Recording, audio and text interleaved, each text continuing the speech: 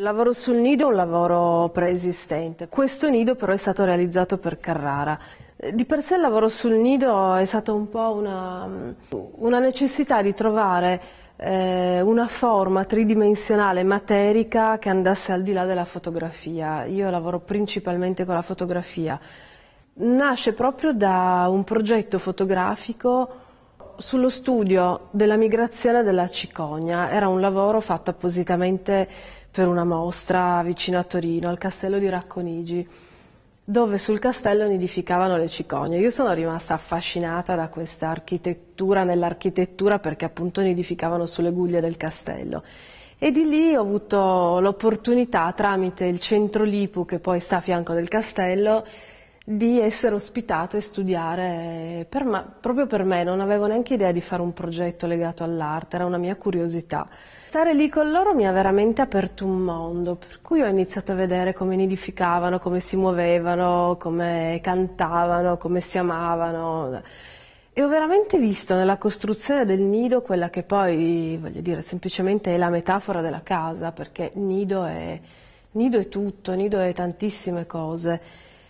E così pian piano ho cercato di, di capire come poter realizzare in maniera tridimensionale questa ricerca che avevo fatto attraverso la fotografia. Per caso trovai un nido a terra e stavo facendo delle sperimentazioni con eh, la fonderia e decisi di fonderlo.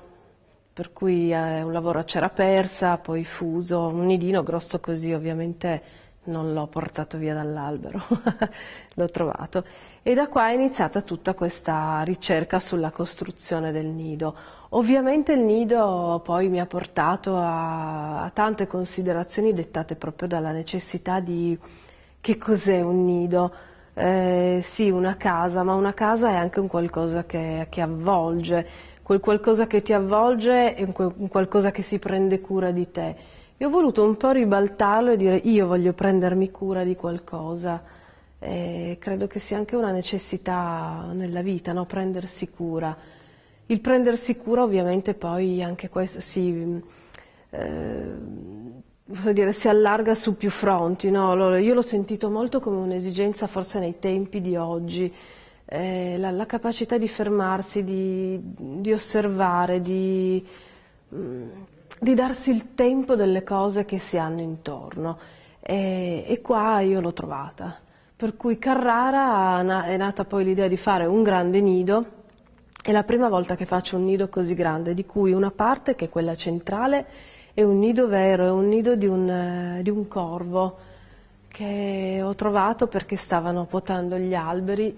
Su questo ho costruito il mio nido. Questa volta invece di usare l'alluminio ho voluto provare un po' come l'idea di una, di, un, di una, fotografia, l'ho fermato, ho voluto fermare il tempo. Lo, è un nido di resina, l'ho resinato, per cui all'interno c'è la sua anima vera.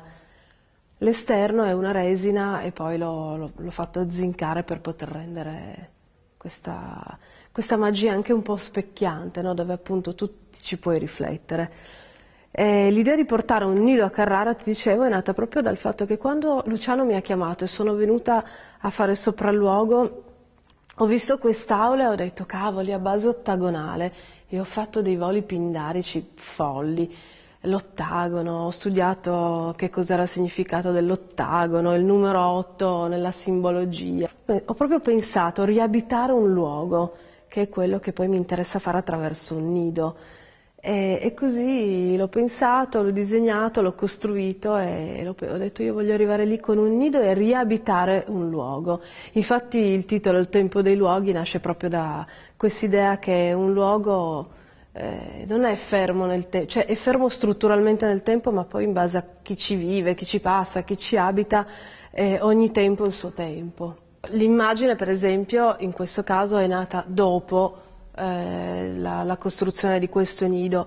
Avevo desiderio di mettere piccola, eh, un piccolo puntino fotografico, ne, ne ho sentito davvero l'esigenza. Quell'immagine lì raccoglie davvero tutto il mio lavoro eh, sia questo che quello precedente, eh, vabbè, quello che verrà, so, l'idea proprio di questa, ma quello è un nido vero, tra l'altro un piccolo piccolo nido eh, trovato per strada fermato nel tempo completamente e l'idea di, di, tenerlo in mano è veramente il concetto della cura, il concetto di, di un qualcosa che una piccola casa che porti sempre con te. No? Bachelard ha scritto La poetica dello spazio, ha già detto tutto lui, anzi io sono molto affascinata dalle sue cose.